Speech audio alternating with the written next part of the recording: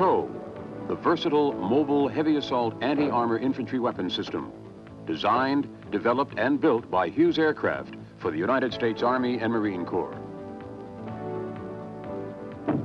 Combat tested, TOW has proved to be highly accurate and devastatingly effective.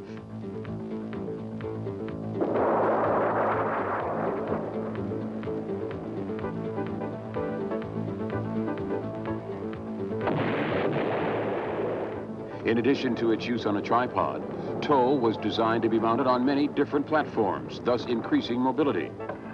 These platforms include the Jeep, the Humvee, and many other wheeled and tracked vehicles.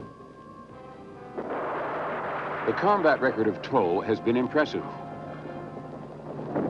In this combat footage, taken through the gunner's sight, the effectiveness of the airborne system is illustrated.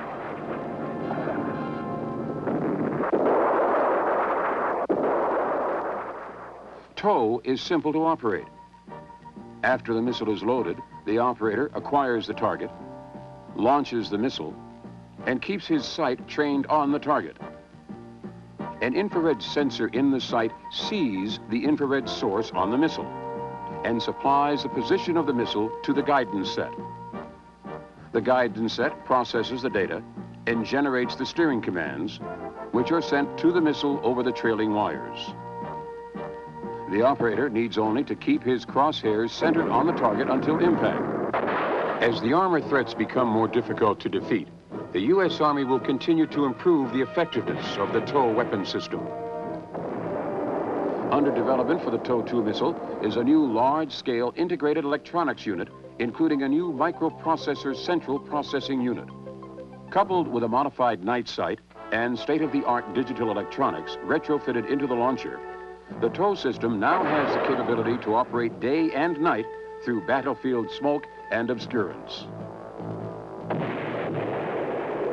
Improved algorithms included in the digital electronics of the guidance set would increase the performance of TOW missiles, particularly in probability of hit and kill at all ranges, and reliability and survivability in countermeasure environments.